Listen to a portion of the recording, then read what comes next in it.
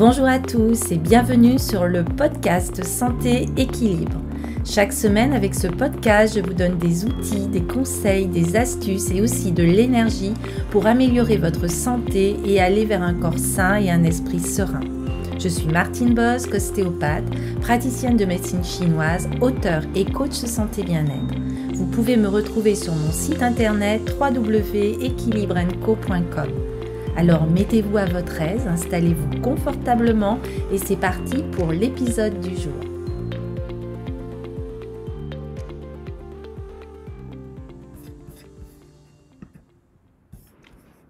Bonjour euh, et ravi de vous retrouver pour ce nouvel euh, épisode.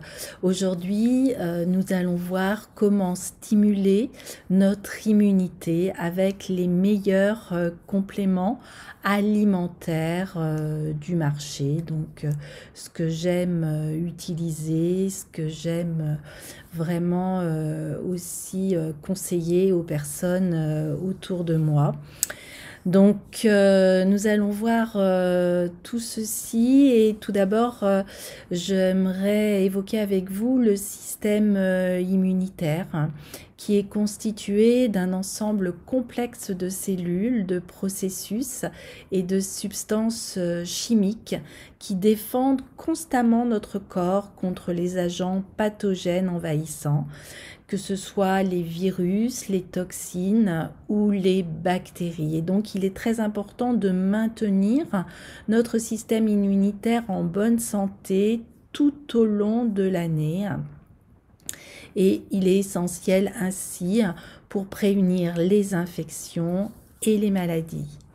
Donc il est très important de faire des choix de vie qui sont sains en consommant aussi des aliments nutritifs, en dormant suffisamment, en faisant de l'exercice, en évitant de trop fumer pour vraiment renforcer notre système euh, immunitaire. Alors euh, tout d'abord, euh, ce podcast, vous allez trouver la transcription sur un article au niveau de mon blog. Je vais vous laisser euh, la référence dans la description. Et aussi, vous pouvez euh, retrouver d'autres conseils pour stimuler votre immunité dans un programme en ligne avec, euh, je décris des automassages et aussi des mouvements et de la méditation. Alors tout d'abord au niveau de la vitamine, une vitamine qui est très très importante pour euh, stimuler et renforcer notre immunité, c'est la vitamine D qui est un nutriment euh, liposoluble essentiel à la santé et au fonctionnement du système immunitaire. Et la vitamine D renforce les effets de lutte contre les pathogènes des monocytes et des macrophages, des globules blancs, qui sont des éléments vraiment importants pour notre défense immunitaire. La vitamine D d'ailleurs va diminuer l'inflammation, ce qui va contribuer aussi à promouvoir une réponse immunitaire. Alors on sait que de nombreuses personnes vont présenter une carence dans vitamine D, ce qui peut avoir des effets négatifs sur la fonction immunitaire.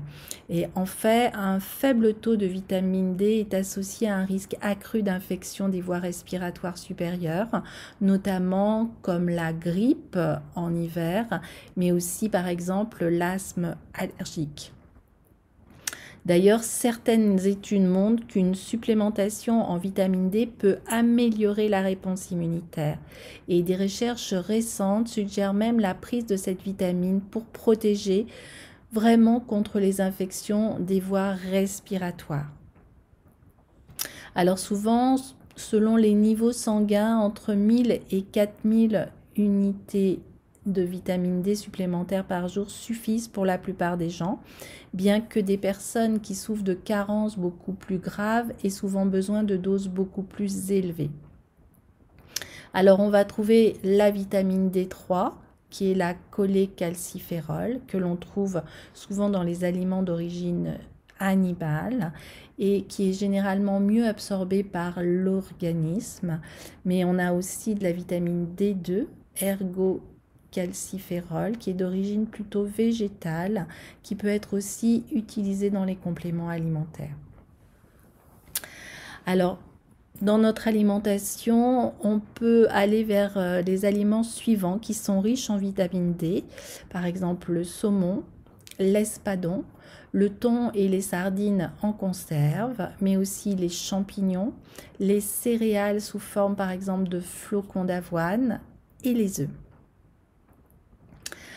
Alors, un deuxième euh, minéral qui est euh, couramment ajouté aux compléments et aux autres produits de santé pour renforcer notre système immunitaire, ça va être le zinc qui est vraiment essentiel. Il est nécessaire au développement et à la communication des cellules immunitaires et il va jouer un rôle vraiment important dans la réponse inflammatoire. Et une carence en ce nutriment va affecter considérablement la capacité de votre système immunitaire pour fonctionner correctement et normalement. Ce qui fait qu'il peut entraîner un risque accru d'infection et de maladie s'il est en carence, y compris une pneumonie. Donc euh, la carence en zinc touche environ 2 milliards de personnes dans le monde, donc c'est très très fréquent, surtout chez les personnes âgées. Et en fait, jusqu'à 30% des personnes âgées sont considérées comme déficientes en ce nutriment. C'est pour ça que de nombreuses études révèlent que les suppléments de zinc peuvent protéger contre les infections des voies respiratoires, comme par exemple le rhume. Et de plus, cette supplémentation en zinc peut être bénéfique pour les personnes qui sont déjà malades. En effet, une étude de 1900 de 2019 qui portait sur 64 enfants hospitalisés souffrant d'infections aiguës des voies respiratoires avec la prise de 30 mg de zinc par jour. Cela a permis de réduire la durée totale de l'infection et la durée du séjour à l'hôpital de deux jours en moyenne par rapport à un groupe placebo.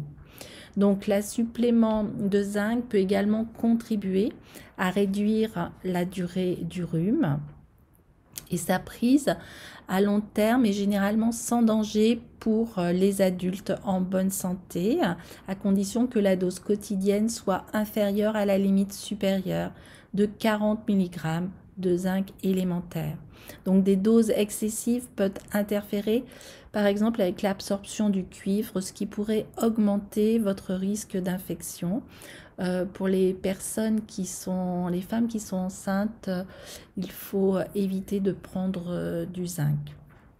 Alors, on peut trouver des aliments riches en zinc que vous pouvez intégrer dans votre menu quotidien. Si par exemple vous mangez des huîtres, du foie de veau, de la viande de bœuf, des lentilles, dans un champignon comme le shiitake, dans le germe de blé, le jaune d'œuf et les noix de cajou. Alors bien sûr, euh, on peut parler aussi de la vitamine C, qui est un complément le plus populaire hein, pour protéger contre les infections en raison de son rôle important dans la santé immunitaire. Et cette vitamine va soutenir la fonction de diverses cellules immunitaires et renforcer leur capacité à se protéger contre les infections. Elle va être également nécessaire à la mort cellulaire qui aide à maintenir votre système immunitaire en bonne santé en éliminant les vieilles cellules et en les remplaçant par de nouvelles. Donc la vitamine C fonctionne également comme un puissant antioxydant qui va protéger contre les dommages induits par le stress oxydatif. Et ce phénomène se produit avec l'accumulation de molécules réactives connues sous le nom de radicaux libres. En effet, le stress oxydatif peut avoir des effets négatifs sur la santé immunitaire et peut être lié à de nombreuses maladies. Donc il a été démontré qu'en prenant de la vitamine C, on va réduire la durée et la gravité des infections des voies respiratoires supérieures, y compris par exemple le rhume. Et aussi sur une étude de 29 cas, on a démontré qu'une euh, prise régulière de vitamine C à dose moyenne de 1 à 2 grammes par jour va pouvoir réduire les rhumes de 8% chez les adultes et de 14% chez les enfants. Donc vous voyez, il est intéressant euh, de noter que la prise régulière de vitamine C peut réduire jusqu'à 50% la fréquence des rhumes chez les personnes soumises à un stress aussi physique élevé. Donc les doses quotidiennes vont se situer euh, généralement entre 500 euh, et 1000 mg.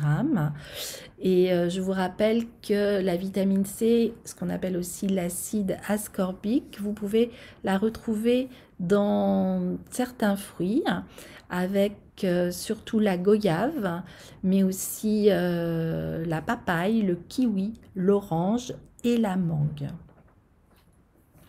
Alors ce que j'aime bien aussi associés à ces vitamines, à ces minéraux, c'est des oligo-éléments et surtout en hiver, l'oligo-élément, euh, une association de cuivre or-argent qui va euh, permettre de lutter contre les infections et qui va être surtout utilisé aussi chez les personnes qui sont euh, fatiguées ou en convalescence.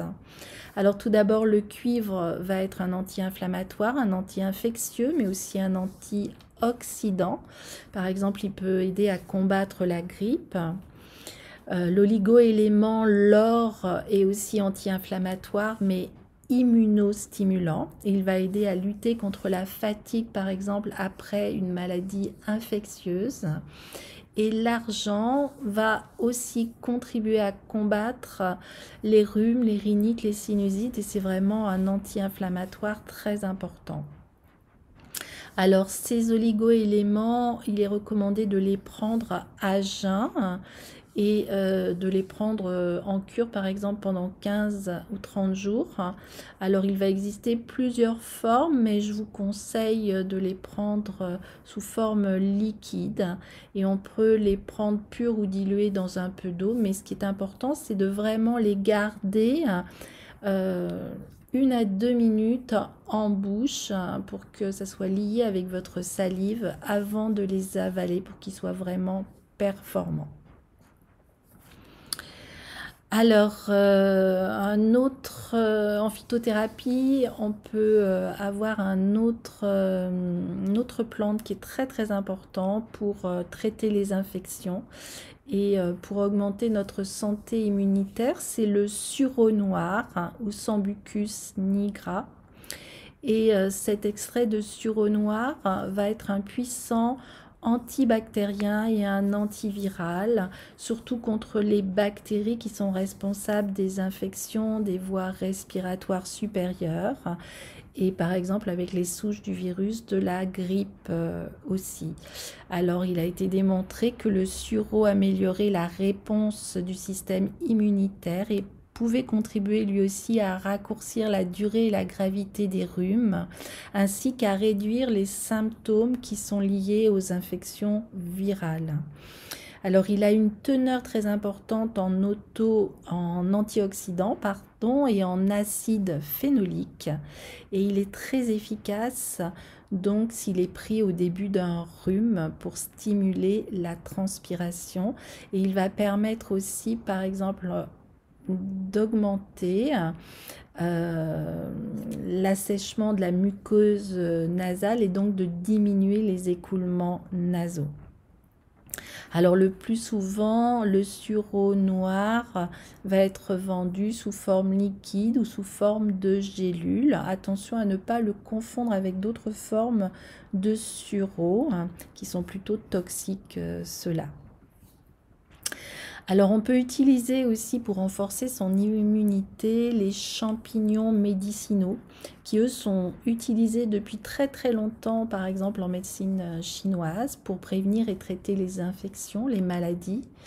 Alors euh, ils ont été euh, étudiés pour leur potentiel et il existe énormément d'espèces de champignons médicinaux, mais les plus connus vont être par exemple le cordyceps, le maïtake, le shiitake, le reishi ou ganoderma et aussi la crinière de lion.